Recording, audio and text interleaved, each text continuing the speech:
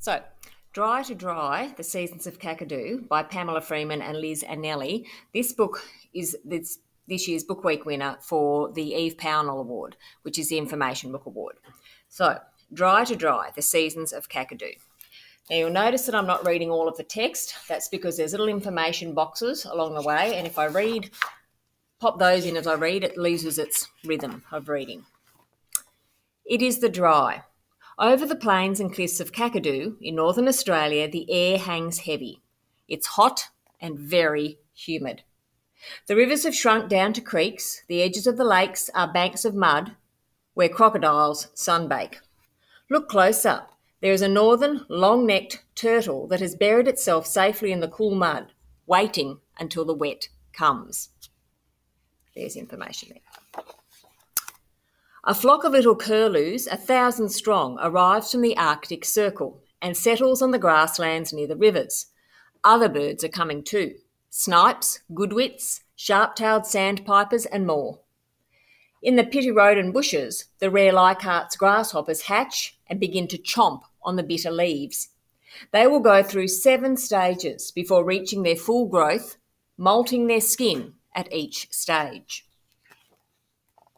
High in the sky over the yellow water wetlands, the red tailed black cockatoos flock noisily to their nighttime home, a grove of eucalypts, before afternoon storm clouds gather. Lightning and thunder, the first kiss of rain on the blazingly dry grasslands.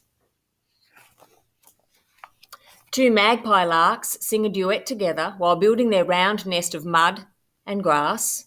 The red lily sends up sweet smelling flowers from the billabongs and the wetlands. The long legged jabiru stalks the wetlands, seeking out eels and frogs it can take back to its babies in a huge old nest high up in a banyan tree. Termites build their mounds up, some are three times as high as a grown man. Other animals live in and on the mounds. Look, a gecko has found shelter from the hot summer sun. Crack, hiss! The monsoon begins, pelting down warm summer rain for hours. Wetlands spread across the low lying ground. This is the wet. Well, there's a sign no swimming. Crocodiles.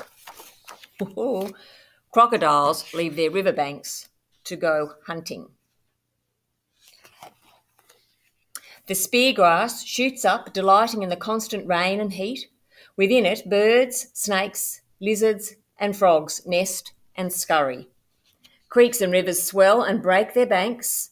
Out across the plains, silver sheets of water spread, joining creek to creek until half of Kakadu becomes a wetland.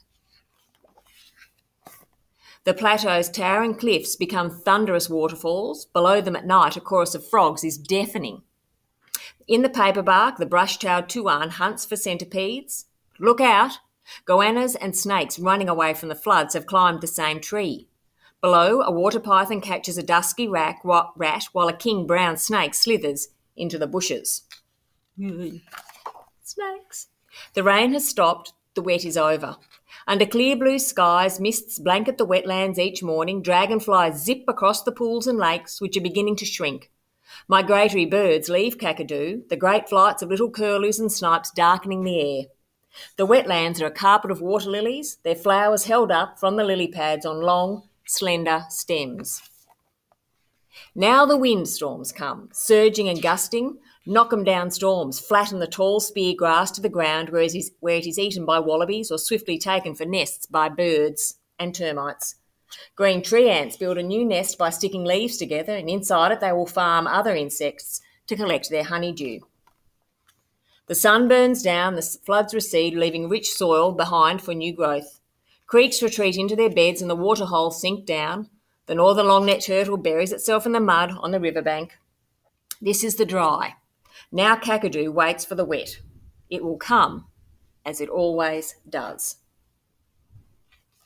On our map of Australia at the back here, that shows you where Kakadu is. It's the green bit just up the top here. I can't stop it.